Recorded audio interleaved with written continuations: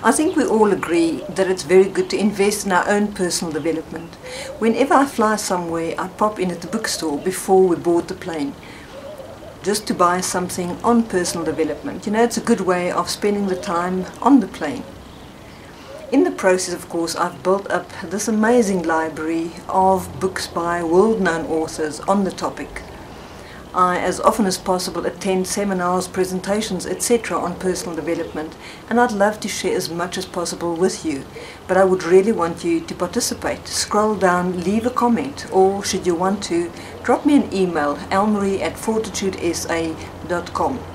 I'd love to hear your input on this topic. We'll talk again. And remember, we need to invest in our personal development. Bye.